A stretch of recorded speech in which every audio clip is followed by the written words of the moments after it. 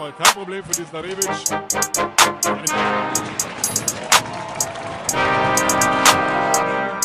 Polo Heyman hat den Ball wieder Coast to Coast. Strike.